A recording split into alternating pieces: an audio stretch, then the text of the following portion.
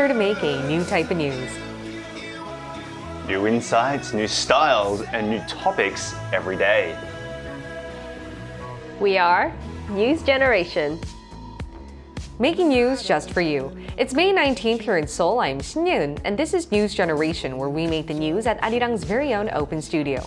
Every morning, we'll discuss the top issues and latest current affairs affecting people in their 20s and 30s. Joining me in the studio is Walter Lee. Lovely to be here. Good morning, and Niall Song. Happy Friday. Happy Friday. Now, both are here to speak on behalf of people in their 20s and 30s.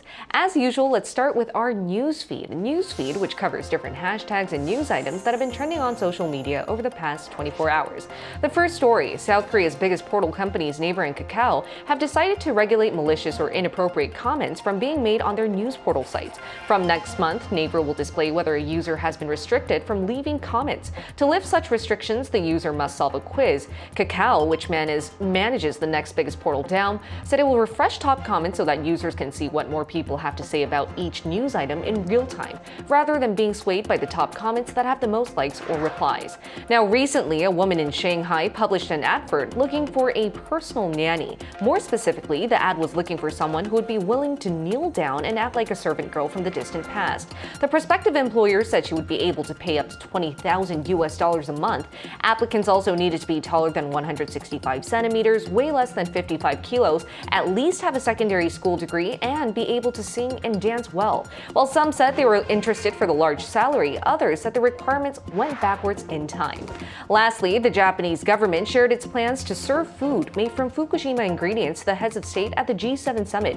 This shows Tokyo's efforts to alleviate concerns over the damaged Fukushima Daiichi nuclear power plant, and local media outlets interpreted Japan's actions as a way for the country to promote how safe the agricultural and marine products from Fukushima are, just ahead of discharging its treated water into the sea.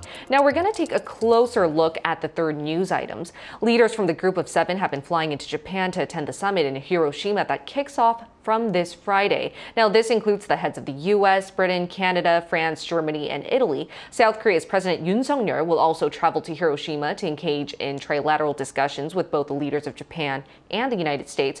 And it's not the first time Japan has decided to give out food made from ingredients found in Fukushima at big international gatherings. Back in 2021, during the Tokyo Olympics, officials used ingredients from Fukushima to make the food for the athletes, and Korea at the time provided separate meals for its athletes and made sure they didn't eat anything made from Fukushima. So we're now going to expand our news feed here to the studio. Now, what do you guys expect about this? And do you think all the leaders there will be eating the food prepared? Or, and if you were there, would you feel safe eating food made from the ingredients in Fukushima? Hmm. To be honest, I've actually hit a place in my life where I've started taking care of my health and, you know, watching what I eat and things like that.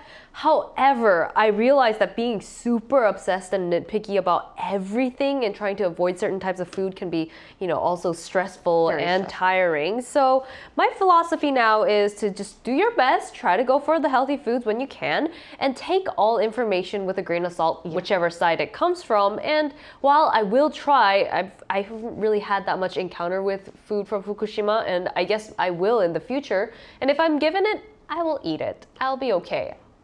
Okay, then what about you, Walter? Well, I guess like uh, most people are worried about radiation poisoning. I, guess, I guess that's the main thing. And some, obviously, people here in South Korea don't trust the Japanese government in their assessments. And we've come back with you know reports of our own saying Right. you shouldn't eat it. But you know, I, I've eaten a lot worse things in my life. To be Like? honest with you, like my my second favorite drink is Coca-Cola, and um, I'm pretty sure that wasn't meant for human consumption ever because it's not good for your stomach.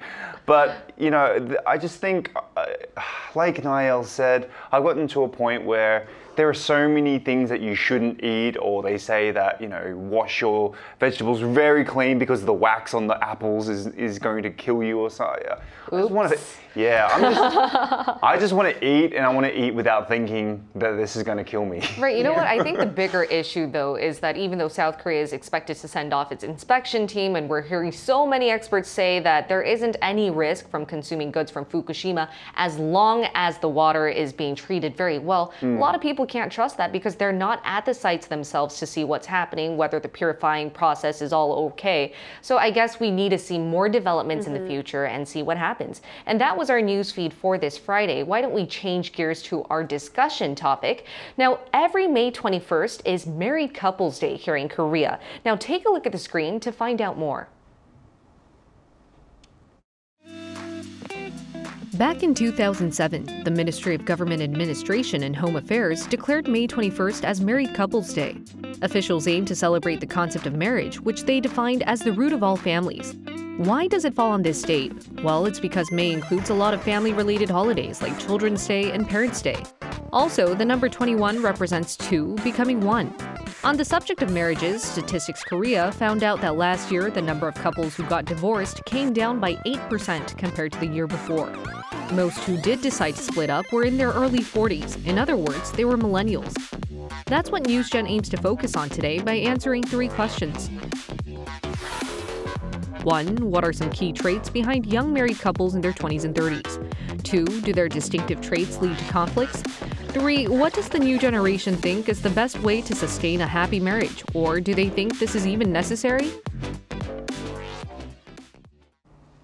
So Sunday's Married Couples Day here in Korea, a day to commemorate and celebrate all the wedded couples out there and wish for years of happiness. Now, not a lot of people know that May 21st is a day for two to become one. And on NewsGen, you two are the only ones that have a married spouse, right? Mm -hmm. Now, so why did you guys even know that on Sunday. It's Married Couples Day, and are you planning to celebrate it? Well, like you said, me and Niall have been married for five wonderful years. Happy, happy. Yeah, to somebody yes. else. Yes. to somebody else, right? Not to each other. That's what she says. But, like, but, yeah, I actually didn't know about this at all. Um, it does, to me, it really doesn't make sense in that way because I thought marriages were supposed to be more personal. Yeah. yeah. And so I think couples, married couples, and couples in general, they'd rather just celebrate the day that they got together, which I have forgotten. so, it, but it makes it more meaningful, right? When it's more personalized. Right. Um, it sort of reminds me of that newsfeed we covered not too long ago about those married couples, about 800 married couples getting 8,000 couples. Yeah, 8,000 couples. A joint ceremony. Can you I believe mean, it? That's insane it's to me. Scary. yeah, but is this just like one of those commercialized things, like White Day? I, yeah, I, I yeah. think that's what it feels like, to be honest with and you. And if you look at it, remember, as you could hear in the video, they say it's the 21st because two becomes one, and I think a lot lot of Korean holidays have that. They have that number the digits, thing, the number play. Regardless, yeah. will you celebrate this day? And did you know about it? you know, I only found out a few years back that this existed, mm. and I feel like it's kind of like, oh, National Puppy Day, National Sibling Day. I mean, not to say that those aren't great, but it's like another day to post things on, right. uh, you know, social media and say, hey, I have a spouse. um, but you know, my wedding anniversary is actually in May, so that adds to another list of things that I need to do in May on top of Parents' Day, Mother's Day, and you know, other birthdays around, and so I don't usually celebrate it. But, you know, I think if it's a day to promote maybe like a healthier marriage, giving more tips on, you know, mm-hmm. there's more organized event, then I, I guess it would be meaningful. But up until now, I, I don't really know much about much about those events. Exactly, but you nailed it. That's exactly what this day is for to promote better and healthier marriages world, worldwide, actually in Korea, because it's mm-hmm. Korean national holiday. Mm. But here, why don't we now talk about the key traits young married couples have? Because we're news gen. Yeah, oh, exactly. So, like, I mean, when I think about marriage, I, I actually think about my parents, right? But they're divorced, not to go that deep. Mm-hmm. But when they were married, it was traditional, right? To get married, have kids, and basically die and pass everything on and goes the circle of life, right? Circle of life. Exactly. so those dates have changed a lot with people of our generation. Mm. Speaking for myself, even though I am married and I do have a kid, I know I've got plenty of people around me who aren't wanting to do that. They don't want to get married. They don't mm. want to have kids, right. which is fine. And this is just the way things are changing. Uh, you know, instead of marriage, people are also having life partners mm. instead. So they don't really want to have that, you know, a contract agreement mm. that you are a married couple. Or some people are just wanting to be with different partners for the rest of their life. I think this is our generation changing the whole marriage trend. And who knows in 50 years, if we're even gonna have like Yeah. marriage or anything. Right. Who knows just- what the trend's going to be then? I know, exactly. Who knows what the new generation at the time will change then? Yeah. But what you, would you like to add a few more key traits Yeah. of young married couples, specifically those in their 20s and 30s? Yeah, and I feel like the generation, this current generation, the modern couple is a little more career focused mm. for, you know, both parties, both spouses, and you know, it could be the financial burden. Right. You need to make money on both sides to make, you know, make ends meet, as well as their passion for work. Mm. But due to this, I think a lot of the traditional gender roles have been able to kind of blend according to schedule and, you know, the right amount of work. So I think personally, I love being outside. I love meeting new people. So I'm a freelancer who goes outside to work and my husband who's a musician mm-hmm. he works from the studio at home doesn't really leave much so he does a little bit more of the housework while he's there Oh, I see. So Yeah. it's definitely different from traditional times, Yeah. for sure. Yeah. And if I add one more key trait, I hear that more young couples have decided not to have kids and both work, and we call that DINK, double income, no kids, right, Walter? Right, right. So, like, this is my wife and I original plan, Mm. right? We, we weren't going to have kids, but obviously things change. And this is also different from when I was growing up, where latchkey kids were the kids who stayed at home while both Right. parents went out and worked. But uh, this is just how this is just uh, shows what our generation is like these days. But now the trend is changing, where couples are wanting to spend time as just a married couple, right? Um, and nothing else. That means just living together, not having to worry about the financial burden of raising a child. So, like, it turns out, like, in 2017, 35% of MZ couples in Korea um, didn't have children within the first five years of them being married. Now, this has actually increased up to 42%. So, as we can see, it is increasing. People aren't wanting to have kids, or at least choosing to have kids later on in life because they know the stress that comes with raising sure. kids. They know mm-hmm. that the financial burden that comes with raising kids. Like I know that, and it's mm. very difficult. It is very difficult, as we've been seeing. Yes. Now, so four out of 10 millennial and Gen Z married couples aren't trying to have kids. And I mm. think the bigger concept behind that is because everyone wants it to be equal. You know, if you have mm. kids, it's some people might think it's more burdensome for the woman and so on and so forth. Yeah. So equality is a key concept that encompasses millennial and Gen Z married couples. So what do you think about that? And Nell, mm. don't you think sometimes it's too excessive to the point that these couples just might want to split up? Right. I mean, I think we actually had another episode on News Gen mm-hmm. talking about when couples split up, they really like to split everything up Right. down to their assets and, you know, things like that. But I think in such ways, many people have already the system for, you know, money, assets, and even how they spend each other's time. And for example, I saw this post online saying, oh, you know, because we're going to see your parents, we're going to use your money for the gas you're going to drive oh my us to your parents. And oh, because we went there for one day, we're going to my parents for one day as well. That's so calculative. It is. It's very, you know, you have to calculate down to the last digit. Exactly. But I think in the younger generation's Mm. defense, it started off by saying we want healthy boundaries Mm. and we consider partnership to be more than just being dependent on each other, but you know, living our best lives side by side. But you know, with that being said, it's you know, it's been difficult because people are making it almost by making it cleaner, it's easier to split up and you know, I've seen that divorce rates about 23 out of 1,000 people in amongst millennials, just millennials, have been getting divorced. And you know, this just goes to show the cleaner you make it, maybe it's easier to split up. And though we're seeing divorce rates fall down, that's only because we're not seeing as high as marriage rates compared to the past, right? Right, right. I think it's like Walter was saying about kids. People take a longer time to maybe consider having kids mm-hmm. or even getting married to start with. Mm-hmm. They really think about whether I want to spend more time with this person for the rest of my life. So, Exactly. yeah, less marriages, less divorces. All right, but speaking of let's now include a family attorney in our talks to extend our discussions.